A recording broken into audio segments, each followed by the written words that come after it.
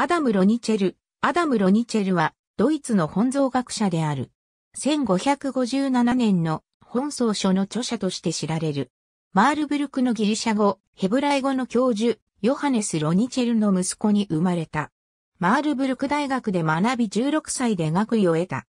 その後、フランクフルト大学、マインツ大学で医学を学び、1554年に医学の博士号を得て、フランクフルト市の Stadtphysicus に任命される一方、マーブルク大学の数学の教授も務めた。同じ年にフランクフルトで印刷業を営むクリスチャン・エゲノルーフの娘と結婚した。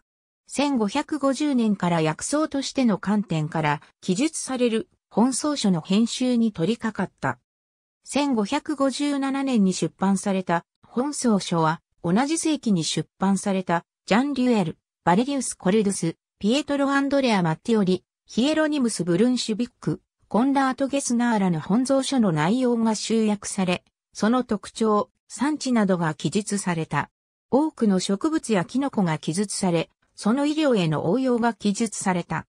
穀物への菌の規制で生じる抜角の記述や、ブルンシュビックの著書から流用された主成の上流の装置、記述も加えられている。シャルル・プルミエによって、オーバヤドリギ科の植物の名、ロニサラが懸命された。カール・フォン・リンネはこの俗名を採用せず、スイカズラ科の植物の俗名をロニサラとした。ロニザーは植物の学名で命名者を示す場合に、アダム・ロニチェルを示すのに使われる。ありがとうございます。